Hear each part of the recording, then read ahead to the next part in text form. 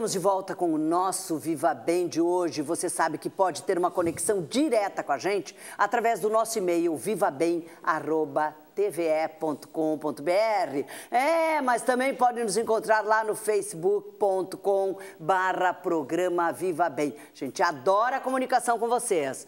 Continuamos aqui a nossa conversa sobre estimulação cerebral com o médico neurocirurgião Paulo Petri Optis do Serviço de Neurocirurgia do Hospital de Clínicas de Porto Alegre. Eu gosto de dizer sempre o nosso Hospital de Clínicas. Muitas matérias já fiz lá. Doutor, Agora eu quero voltar nesse segundo bloco, eh, lhe perguntando sobre o resultado daquela. É isso que vocês queriam saber também, né? O resultado da cirurgia, como evoluiu a cirurgia daquela paciente de 68 anos que nós vimos no vídeo.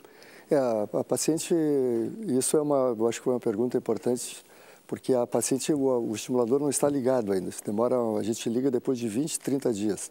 O parâmetro transoperatório, ah, as coisas okay. que a gente espera encontrar na estimulação transoperatória foram adequadas.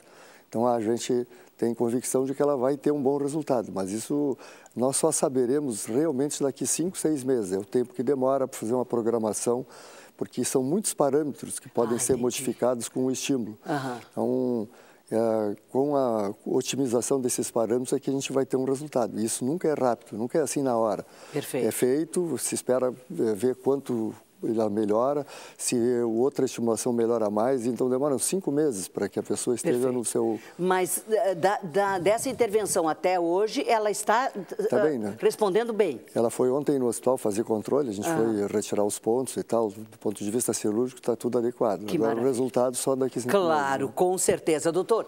E as intervenções para depressão fora do país? Por exemplo, a gente falou que também pode ser usado para depressão, e a gente sabe que no nosso país o índice é é elevado de pessoas deprimidas severas, né? Não depressão. Tem gente que chama tristeza de depressão, né? Então, não é bem isso. A gente está falando de depressões severas. Sim, o paciente que vai à cirurgia por depressão, ele tem uh, ele cumpriu quatro protocolos de tratamento clínico sem certo. efeito, né? sem ter resultado.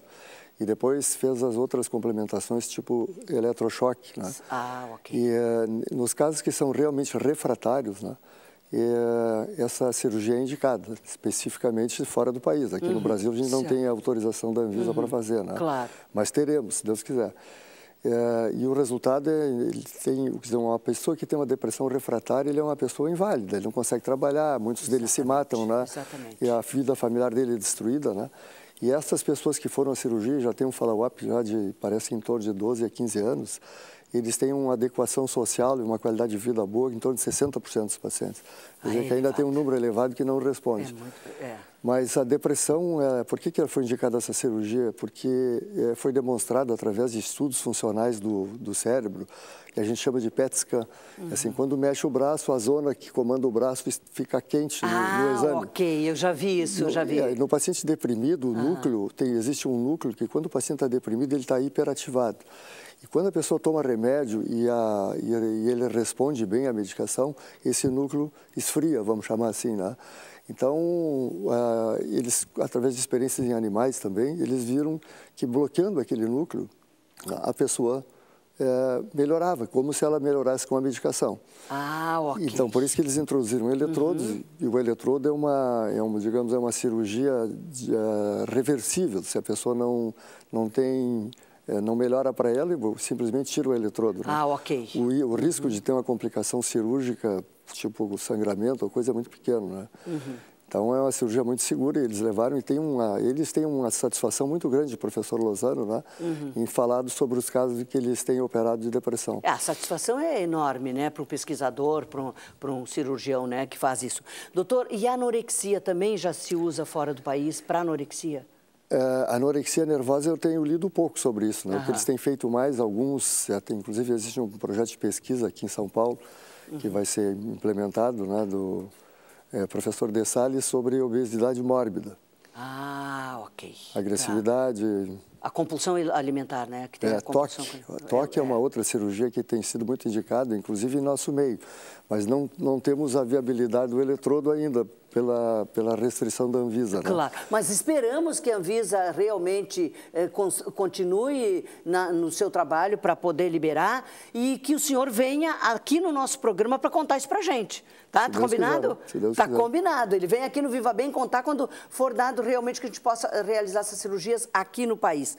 Doutor, mas eh, as próximas cirurgias já estão agendadas? Eh, na verdade, assim, nós funcionamos, isso eu queria falar um pouquinho uhum. também, o, o, Hospital de Clínicas é um hospital ideal para isso, né? Certo. Porque é um hospital voltado para novas tecnologias e para coisas que os outros ainda não conseguem fazer, né? Uhum. Então, a gente tem uma equipe é, de psicólogos, psiquiatras, é, neurologistas, que todos trabalham de uma forma harmônica para chegar a fazer a indicação da cirurgia desses pacientes. Ou seja, uma equipe multidisciplinar, multidisciplinar que funciona. Que funciona é, a gente, por exemplo, na, durante a cirurgia, nós temos sempre um ou dois neurologistas ah. junto testando o paciente. Coisa que o professor Lozano me disse que ele não consegue ter um neurologista na sala. Né? Aí, senhor, como é bom estar aqui eu, no Hospital de Clínicas. Eu fiquei feliz, né? Então, claro. o Hospital de Clínicas é um hospital ideal para a gente trabalhar com isso, né? Então, é, eu sou uma ponta dessa uhum. equipe, né? Certo. A ponta executora da cirurgia, mas a triagem, toda ela é feita pelo grupo da neurologia e da psicologia e da psiquiatria. O neurologista orienta, ah, né? Okay. Então, existe já uma lista, eu não sei se ela já está completa para o próximo capítulo 20 pacientes, que dessa vez vão ser 22, né? Se já está já está preenchido ou não, mas eu sei que existe um, um número muito grande de candidatos. Né? Sim, mas 22 é certo que vão para o próximo. Se o convênio for realmente for assinado, né? Tá. Mas tá, tudo claro, indica que sabe. será, né? Sim, a gente sabe que tem vários passos, tem vários setores para que tudo aconteça, né? Não é, não é de repente, né? A triagem é feita a partir de uh, os mais uh, casos mais sérios, os, os há mais tempo esperando. É, existe, uma, existe uma, um ambulatório de, de doenças de Parkinson lá no hospital.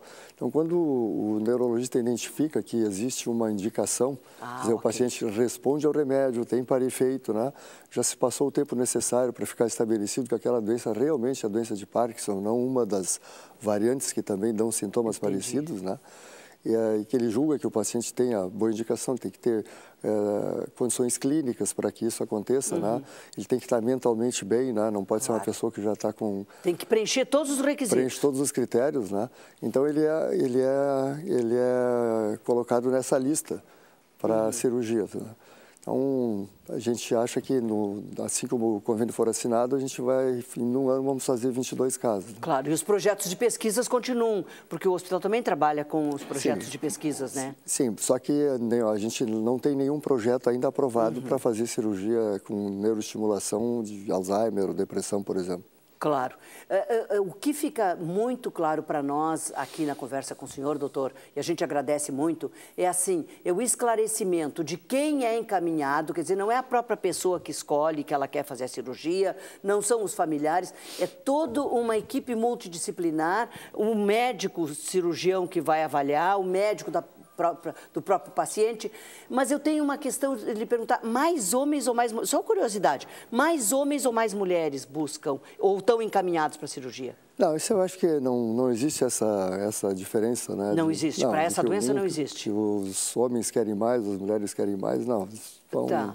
Todos que têm Parkinson, em princípio, eles querem ser operados. Tá. E são pessoas mais velhas que têm Parkinson ou pessoas... Não, são normalmente pessoas mais velhas. Né? Quanto mais jovem o paciente, né, é, é, melhor, digamos assim, é a indicação, se ele tem a indicação da cirurgia. Né? Quando detectado que é Parkinson. Exatamente, porque é claro que uma pessoa mais jovem, ele tem mais resistência física, ele tem mais... Ah, né? ok. Uhum.